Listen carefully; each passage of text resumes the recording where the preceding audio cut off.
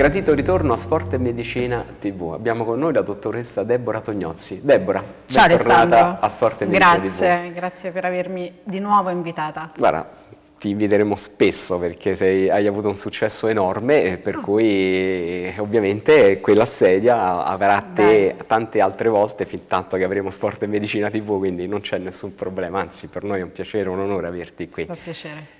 Tiroide e alimentazione oggi. Di che parliamo oggi? oggi? Tiroide e alimentazione. Io parlerei della tiroide. Che eh mi già, dici sulla tiroide? È una ghiandola importantissima, direi fondamentale per il funzionamento non soltanto di quella ghiandola lì ma di tutti gli organi perché eh, dal corretto funzionamento di questa poi parte tutta la, la, nostra buona salute e il nostro benessere. Questo perché che... tu studi anche il DNA, giusto?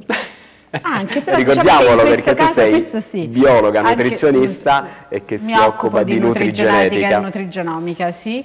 E, però in questo caso diciamo che il discorso della tiroide ehm, entra fino a un certo punto nella, okay. nell'aspetto del DNA, anche se c'è una predisposizione genetica a volte per quelli che possono essere dei problemi legati alla tiroide. Okay.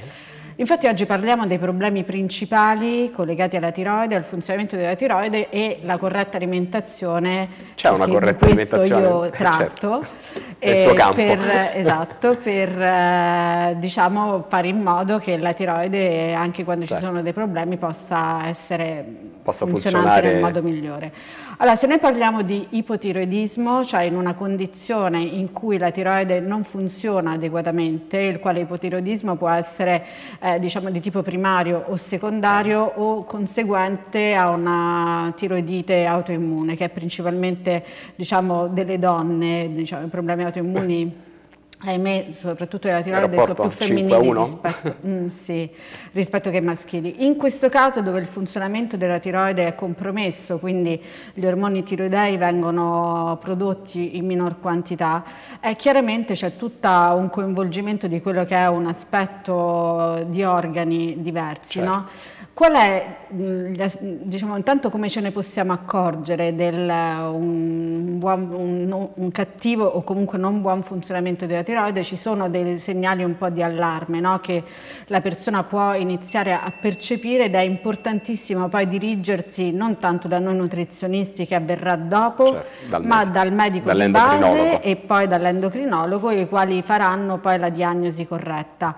Diciamo uno del, di quelli che sono i segnali sono è la stanchezza, della, una okay. stanchezza anomala, una temperatura, mh, mm, diciamo una percezione della temperatura anche non sempre eh, corretta, no? ci sono queste alter- mm, okay. variazioni tra Sbalzi il freddo di... caldo e, mh, e, una secchezza anche della pelle, una magari caduta di capelli, eh, una, un gonfiore anomalo anche del viso sotto gli occhi, quindi sono tutti dei piccoli segnali che poi nel complesso fanno un segnale importante dove in quel caso è opportuno opportuno rivolgersi dal medico. Quando poi il medico fa l'eventuale diagnosi, che sia essa eh, una forma di tiroidite con appunto una disfunzione di, di, quella che è la tiroide o di ipotiroidismo, a quel punto è anche molto importante collegare una giusta alimentazione.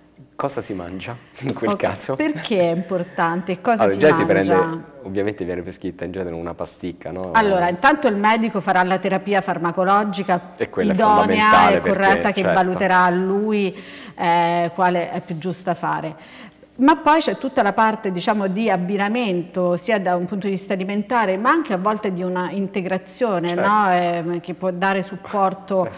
alla persona. Quali sono gli alimenti da allora, in una prediligere, va, mettiamola diciamo così. Da evitare o da no, prediligere? No, da, da prediligere. Allora, tanto dobbiamo fare in modo che questa tiroide, eh, nonostante il farmaco, ci sia comunque un funzionamento certo. migliore. Tutto quello che contiene iodio, che okay. contiene selenio, che contiene zinco eh, è importante per il funzionamento della tiroide. Tradotto, quindi quali sono, tradotti in alimenti esatto, quindi quali sono gli alimenti? Intanto gli alimenti provenienti dal mare, il pesce, i molluschi, le ostriche, crostacei. Eh, i crostacei, sì, a meno che non c'è un problema Aragosta. di colesterolo che però adesso vediamo perché comunque collegato a un problema di tiroide molto spesso ci può essere un problema anche di eh, ipercolesterolemia o un problema quasi sempre, anzi direi sempre, c'è un problema di stipsi, okay. quindi anche a livello intestinale, quindi è importante abbinare eh, molte fibre eh, in una situazione quindi, di ipotiroidismo. ostriche, Aragoste, vanno ostriche, sì, vanno bene, ma vanno bene poi tutto quello che sono le verdure.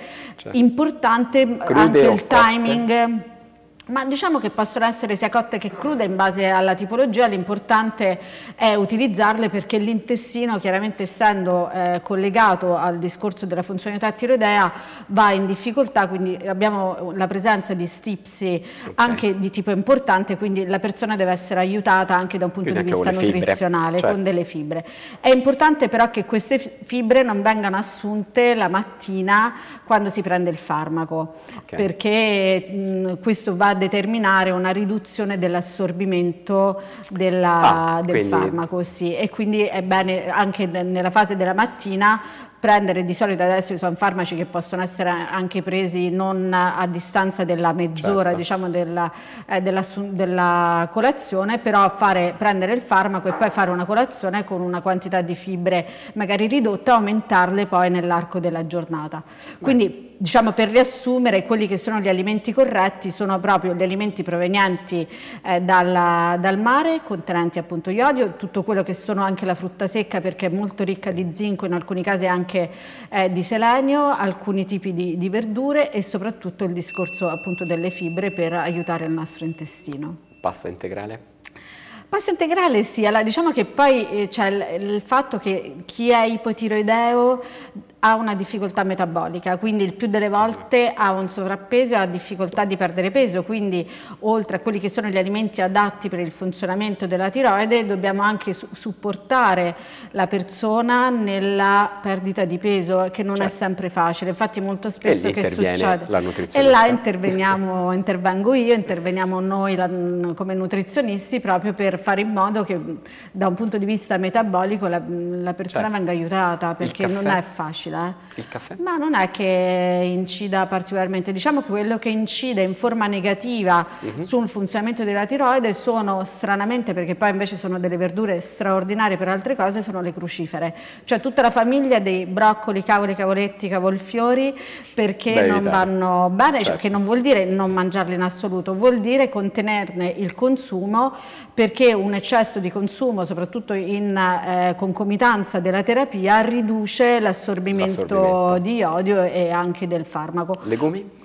No, i legumi possono essere mangiati, Lenticchie, anzi po cioè, possono avere dei fastidi anche lì no? dal punto di vista intestinale, quindi quando io lavoro, lavoro sempre andando a vedere tutte quelle che sono le situazioni associate al problema specifico. Un altro alimento che è controindicato è per esempio tutto quello che riguarda la soia per il suo contenuto di isoflavoni, mm che non è che fanno male perché determinano il problema alla tiroide, ma anche questi vanno a rallentare eh, l'assorbimento sì, del, dello iodio e del farmaco. Beh, questa soia io ogni ogni tanto sento no? i nutrizionisti sì, così. Anche Prima... se poi ci sono dati esatto. anche molto contrastanti. Però sulla soia, insomma, ci sono dei lavori dove poi tutto, tutto sto bene non fa questa soia. C'è gente che vive solo di soia e poi in realtà mi rendo conto che mm, forse allora, bisogna... è limitante per tante per patologie. Per alcune cose sì, cioè, anche esempio, se ripeto... Nella, nelle patologie oncologiche. Oncologiche del quelle... seno. Vabbè, chiaramente tutto quello che eh, diciamo stimola no, a livello certo. ormonale è controindicato, anche se pure là poi ci sono dei lavori scientifici un po' in contrapposizione, però bisogna vedere anche che cosa si va a prendere. Per esempio ci sono degli alimenti altamente fermentati a base di soia dove ci sono delle caratteristiche della soia che non, non esistono più, ma c'è tutta un'altra parte che rimane altamente eh, positiva, parlo certo. per dire del miso, parlo del tempe, parlo del tofu di alta qualità. E il miso, io sono una fautrice, poi un giorno ne parleremo perché il miso... Ci faremo un'intervista. È straordinario, no? sì. Abbiamo tralasciato un piccolo aspetto ancora da approfondire, gli integratori. Allora, All'alimentazione ci mancano gli integratori. Sì, allora gli integratori Intanto io mi confronto sempre con il medico perché è sempre bene Vabbè, non andare... perché sei seria, esperta e sì, preparata. No, lo dico perché eh, dove c'è la terapia farmacologica poi è sempre bene dove è possibile andare a fare la, la, la collaborazione perché... Però diciamo che gli integratori che aiutano, la parliamo del funzionamento tiroideo, intanto è il selenio. Okay. Il selenio che è veramente un integratore straordinario che noi possiamo prendere appunto abbiamo visto dagli alimenti ma può essere utile anche integrarlo, certo. può essere molto importante anche l'utilizzo l'utilizzo dello zinco, quindi prendere degli integratori eh, giusti in tal senso e poi magari abbinare nella persona perché appunto c'è una difficoltà metabolica, poi spesso c'è una, una, compromissione anche della funzionalità epatica, di tutta una serie di aspetti di colesterolo, quindi dove non c'è l'esigenza di fare terapie farmacologiche, lavorare sull'integrazione anche per il corretto funzionamento insieme agli alimenti dell'organo. Mi dispiace dover interrompere questa intervista, ma sai, il tempo è tiranno. Peccato. Quindi tornerai però perché Volentieri. faremo altre interviste. Vogliamo lanciarne una la prossima? Qualche argomento che ti sì, può piacere? Mm, io avevo piacere di parlare di questa dieta tanto amata e attento dieta che è la dieta chetogenica. Io ho fatto la chetogenica, quindi voglio dire... E dopo eh, ne parleremo.